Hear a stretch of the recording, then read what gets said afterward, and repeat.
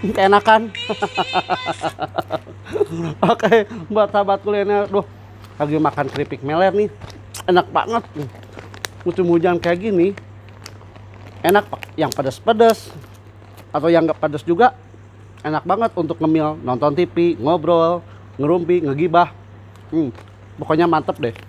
Tapi lebih mantep lagi kali ini Abun Kumar akan bikin sesuatu yang hangat untuk tubuh kita. Apa? Ada minuman segar, hangat, dan sehat. Yaitu teh jahe. Deh. Mau tahu cara dan resepnya? Oke, kita mulai. Sini.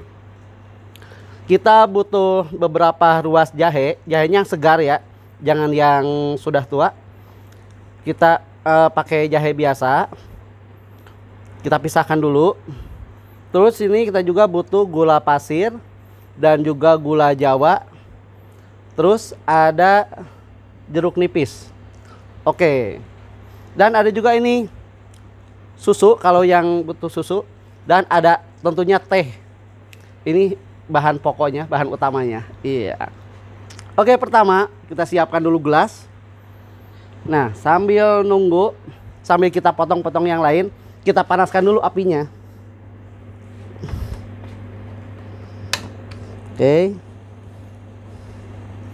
Kita panaskan nanti biar sel selesai memotong, ini mendidih kita siapkan. Nah, sekarang siapkan dulu kita siapkan jahenya. Jahe segar tentunya.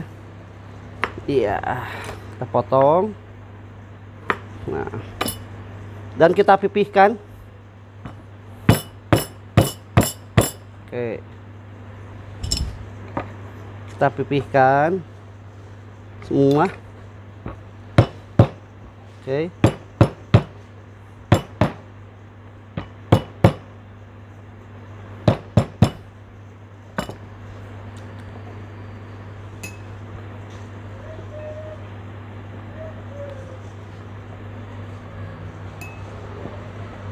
Oke.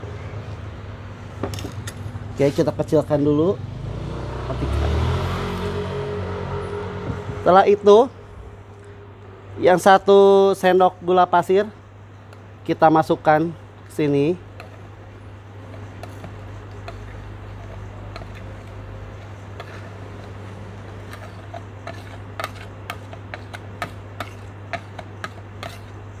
Oke. Dan untuk gula merahnya atau gula jawanya kita hanya membutuhkan separuhnya saja. Kita bagi dua. Oke.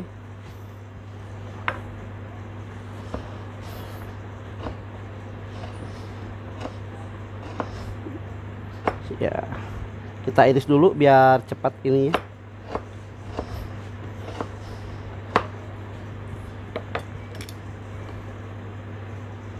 Oke.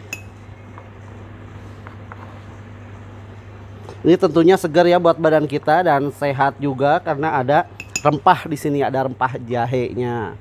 Oke.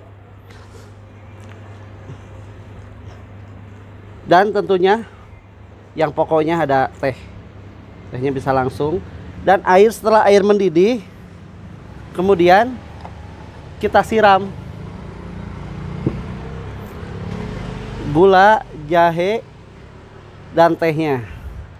Oke. Hmm. Oke. Wangi jahenya sangat Hmm. Dan kita aduk dulu. Oke, kita aduk biar gulanya. Ini kalau misalkan gulanya pengen cepat cair bisa juga pakai gula cair bisa dikira-kira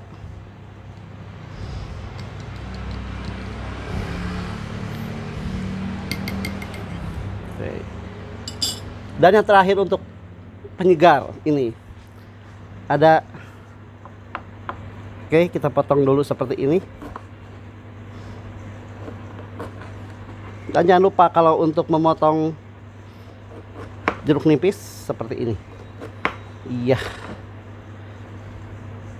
Kita peras dan kita masukkan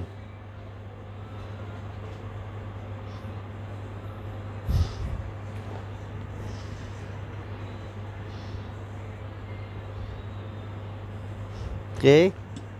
Kita aduk lagi biar tercampur. Setelah itu yang kita potong tadi kita masukkan juga. Oke.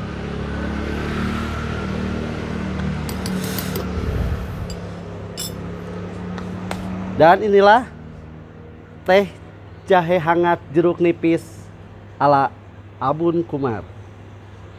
Nah, jadi kita balik lagi ke yang tadi sambil makan keripik meler yang original maupun yang pedas temennya bisa ini ya bisa teh jahe jeruk nipis ala Abun Kumar. Jangan lupa like, subrek, and komennya juga hanya di World TV Indonesia. Oke, sahabat kuliner, terima kasih. Tetap tune in di channel World TV Indonesia. Bye bye. Mwah.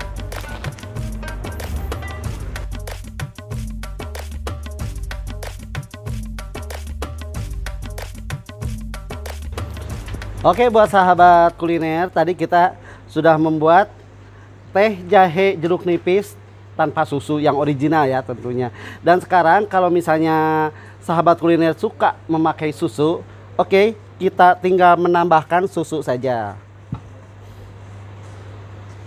Kalau ditakar bisa cuman dua atau tiga sendok makan saja ya susunya.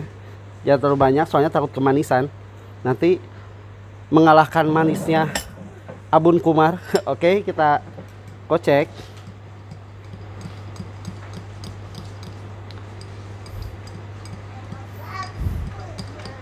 Oke. Dan juga bisa ditambah jeruk nipisnya.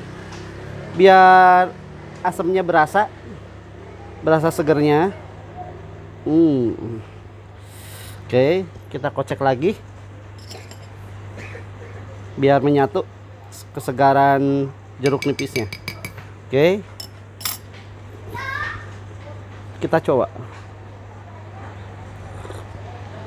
Masih panas. Wah segar ah. Apalagi dimakannya dengan keripik meler ini pasti lebih sedap. Dan buat sahabat kuliner yang mau pesan keripik meler bisa add instagramnya add keripik meler di situ ada nomor telepon yang tertera. Bisa di calling diminumnya dengan teh jahe jeruk nipis plus susu buatan Abun Kumar. Tetap stay tune di World TV Indonesia oke okay, bye. Terima kasih.